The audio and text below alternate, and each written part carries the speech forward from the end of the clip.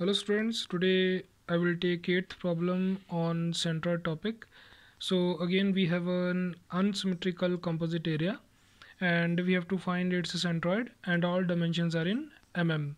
So in this problem again x-axis and y-axis are given to us. So we have to give the coordinates of its centroid with respect to these two axes only. So what is the first step? First step is divide this composite area into regular areas.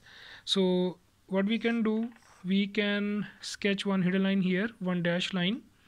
So in this manner, we will get a triangular area over here and a rectangular area over here. So if I add these two areas, we will get this composite area. So we have divided this composite area into two areas. One is triangular area, second is rectangular area. So first step is to divide this composite area into regular areas. So we have considered one triangular area and one rectangular area. Then second step is find their individual centroids. So let us first find the centroid of area 1 that is triangular area. So it is a right angle triangle it means what we will do in order to find its centroid. We will consider this side as base first that is 150 as the base and this side as the height. So if the, we are considering this as base this side will become height. So height over here is 300 so in case of triangular area what we do? From base we draw one line which will be parallel to its base and distance between the line and the base will be equal to h by 3 where h is the height of the triangle. Height of the triangle in this case will be 300 it means we will sketch one line here somewhere over here. So this distance from this base will be at h by 3 so how much is h? h in this case is 300 so 300 by 3 so after this we will consider this side of the triangle as base then this side will become height. So from base we will draw another line. And uh, that line will be parallel to that base. And distance between that line and the base will be again equal to h by 3 now this time h is how much? 150 so this distance will be 150 by 3 so intersection of these two lines will give us the centroid of area 1 so let us call this as g1 similarly uh, let us locate the centroid of area 2 area 2 is what? It is an it is a rectangular area. So we know in case of a rectangle centroid exactly lies in the center that means at L by 2 and B by 2 L is 150 it means this distance will be 150 by 2 and uh, B is 75 it means this distance will be 75 by 2 so let us label this as G2 so we are done with the, the second step. That is location of individual centroids for area 1 and area 2 what is the third step? Third step is the calculation part. So let us solve the first part first step in the calculation part. So first step we will write area 1 so we have to do three calculations for area 1 first of all you have to find its area. So that will be equal to half. How much is the base? Let us consider this as base. It is 300 so its height is how much? 150 so from here we will get its area double two 500 mm square.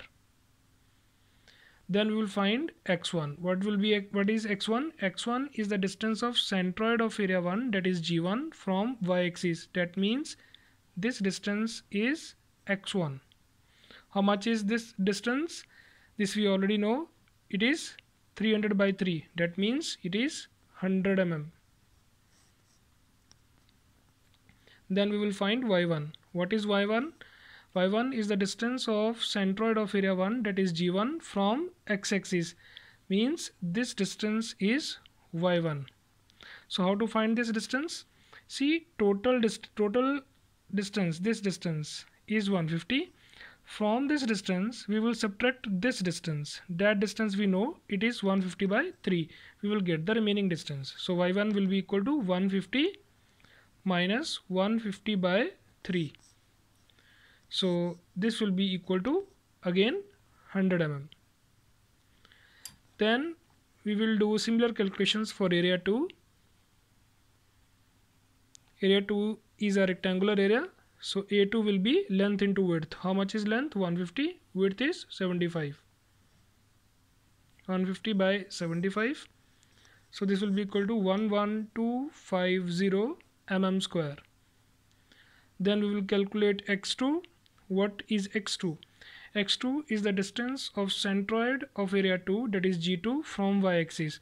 Means this distance is x2 now you see if this is the length of 150 so this is how much 150 by 2 it means x2 is 150 plus 150 by 2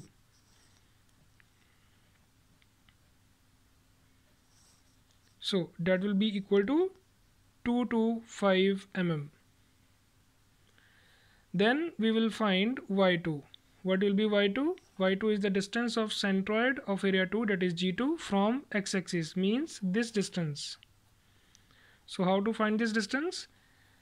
From here from this axis up to this point it is 150 then after that this distance will be 75 by 2 so 150 plus 75 by 2 so this will be equal to 187.5 mm.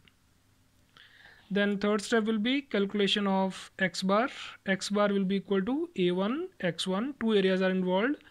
Plus a2 x2 divided by a1 plus a2 so we are using positive sign in the denominator and denominator. Why? Because this composite area is obtained by adding triangular area and rectangular area. So we have used positive sign. So when you will put these values of a1 x1 a2 x2 a1 a2 in this formula you will get x bar as 141.67 mm. And in the fourth step we will find y bar. So y bar will be equal to a1 y1 again plus a2 y2 divided by a1 plus a2 so when you will put these values in this particular formula a1 y1 a2 y2 a1 a2 you will get y bar as 129.17 mm. I hope this particular problem is clear to you. Thank you very much.